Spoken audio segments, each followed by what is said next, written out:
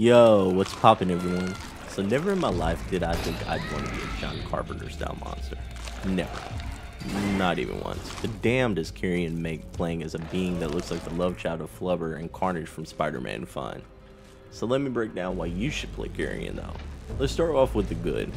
The atmosphere is insanely well crafted. Everything from the eerie music to the vivid and colorful 8-bit art style sets the mood for this horror site you can tell that Phobia Game Studios put in a lot of love to the various environments of this game. There are only a few controls, yet Carrion feels super responsive and vivid. It's amazing how much control you have over this horrific creature. The game power-ups feel good and add cool mechanics to take down various enemies or solve the Metroidvania style puzzles.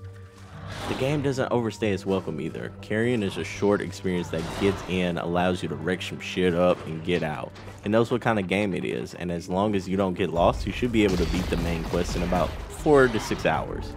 For such a short game, there's a decent amount of variety when it comes to Carrion's puzzles.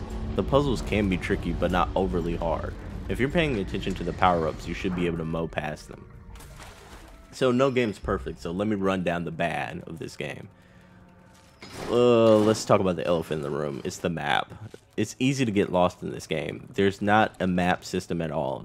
To make matters worse, there aren't any nav points to tell you where to go next.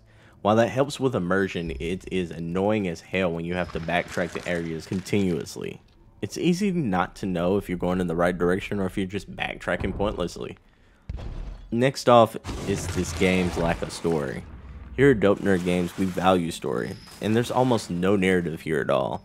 You're a monster, you escape, you wreak some havoc on anyone that stands in your way, and that's it. Nothing else but the gameplay is motivating you to continue forward.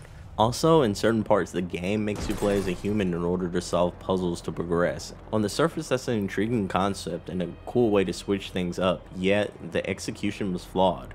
None of the puzzles feel like they're noteworthy, and ultimately they feel like they're added content for the sake of added content. Also, the controls for the human are very clunky and sluggish. Ultimately, despite all the flaws I listed, this game is a damn good time. It does what it set out to do, let you play as a weird monster and set out and dominate anything and everything that stands in your way. Carrion does most things extremely well, however its faults keep it from achieving all-time greatness. That said, this is a fun experience that I'd recommend to anyone that's a fan of this genre.